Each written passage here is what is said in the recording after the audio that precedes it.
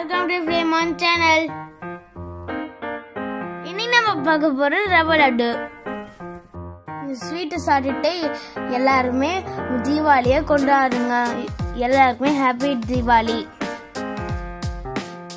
இன்கிரீடியன்ஸை பார்த்துடலாம்.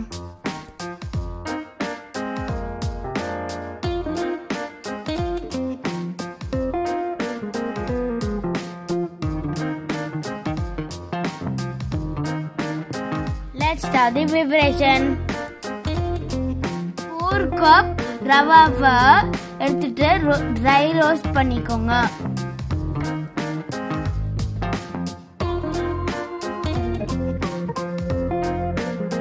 ரவையை நல்லா ட்ரை ரோஸ்ட் பண்ணிக்கோங்க.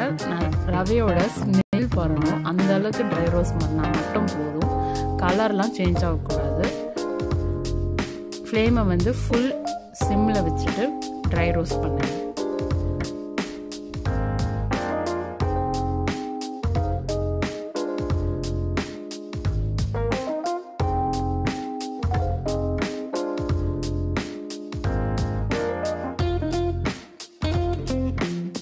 ரவையை நல்லா ட்ரை ரோஸ்ட் பண்ணியாச்சு. இந்த அளவுக்கு வறுத்தா மட்டும் போதும். வறுத்து வச்சிருக்க ரவையை ரூம் டெம்பரேச்சர் வர வரைக்கும் விட்டுட்டு மிக்ஸி ஜாரில் ட்ரான்ஸ்ஃபர் பண்ணி அரைச்சிக்கலாம். அரைக்கிறேன்னா மாவு மாதிரி அரைச்சிடக்கூடாது. ஜஸ்ட் ஒரு பல்ஸ் அந்த அளவுக்கு கொடுத்தா போதும்.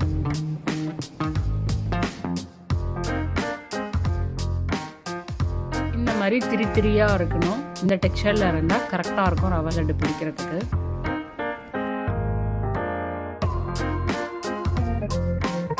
இந்த அளவுக்கு நல்ல பவுடர்டாக சுகரை வந்து கிரைண்ட் பண்ணிக்கணும். மிக்சிங் பவுல் எடுத்து நம்ம அரைச்சி வச்சிருக்க ரவையும் சுகரையும் போட்டு நல்லா மிக்ஸ் பண்ணிக்கலாம் ஃபஸ்ட்டு கரண்டிலாம் வேண்டாங்க. நல்லா கையாலேயே வந்து மிக்ஸ் பண்ணுங்கள் அப்போ தான் வந்து சின்ன சின்ன கட்டிகள் இருந்தாலும் அது நல்லா பவுடர் ஆகிடும்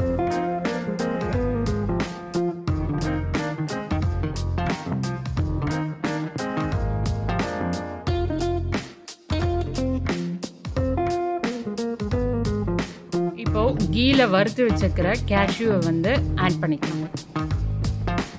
கேஷ்யூவோட அளவுலாம் வந்து உங்களை விருப்பத்துக்கு ஏற்ற மாதிரி தான் கேஷ்யூவும் சேர்த்துக்கலாம் ரைஸும் சேர்த்துக்கலாம். பாதாம் பிஸ்தா நம்ம இஷ்டம் தான் நட்ஸ் சேர்க்கறது. நான் வெறும் கேஷ்யூ மட்டும் தான் சேர்த்துருக்கேன்.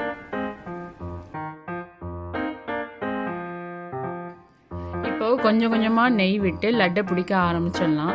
ஒரு சில பேர் காய்ச்சின பால் விட்டு லட்டை பிடிப்பாங்க. அது வந்து ஓ- ரொம்ப லாங் டைம் வச்சுக்க முடியாது. ஒரு ஒன் ஆர் டூ டேஸ்லேயே காலி பண்ணிடணும். இது பார்த்தீங்கன்னா ஒன் வீக் ஆனாலும் நம்ம வெளியே வச்சுருக்கலாம். ஃப்ரிட்ஜிலலாம் வைக்க வேண்டிய அவசியம் இல்லை. சூப்பராக இருக்கும். ஒரு சில பேர் சுட தண்ணி ஊற்றி கூட பிடிப்பாங்க. அது வந்து ரொம்ப ஹார்ட் ஆகிடும் நெய் விட்டிங்கன்னா நல்லா டேஸ்ட்டாகவும் இருக்கும். கரெக்டான டெக்ஸ்டரில் சாஃப்டாக சூப்பராக நம்மளுக்கு நல்லாயிருக்கும் நெய்யை வந்து ஃபுல்லாக ரவையில் விட்டு ஃபுல்லாக பிசைஞ்சிட்டு லட்டு பிடிக்கணும்னு கிடையாது. ஒரு ரெண்டு மூணு லட்டு பிடிக்கிற அளவுக்கு கொஞ்சம் கொஞ்சமாக மாவு எடுத்து அதில் நெய்யை விட்டு பிடிச்சிங்க. அப்போ தான் கரெக்டான டெக்ஸ்சர் வரும். நெய்யோட அளவை வந்து நான் அந்த ரெசிப்பியில் வந்து மென்ஷன் பண்ணலை. ஏன்னா வந்து ஒவ்வொரு ரவைக்கு ஏற்ற மாதிரி அது வந்து மாறும்.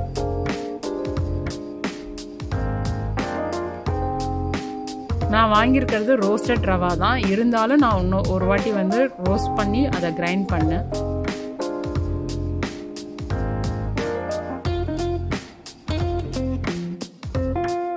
இந்த மாதிரி லட்டை பிடிச்சி வச்சுக்கலாம்.